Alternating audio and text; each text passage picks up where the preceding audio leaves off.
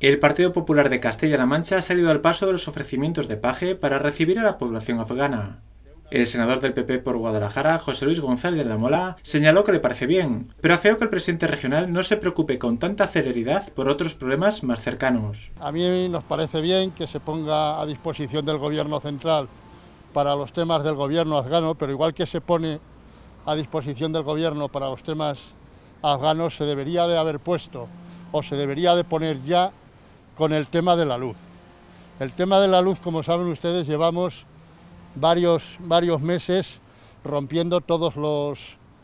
todos los, límites eh, de subidas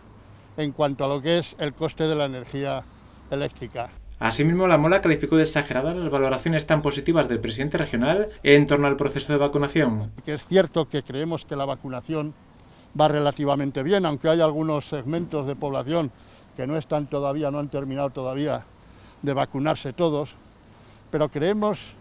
que el señor Paje exagera a la hora de hacer las valoraciones, siendo como es Castilla-La Mancha,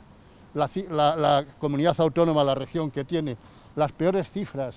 en mortalidad, las segundas peores cifras en letalidad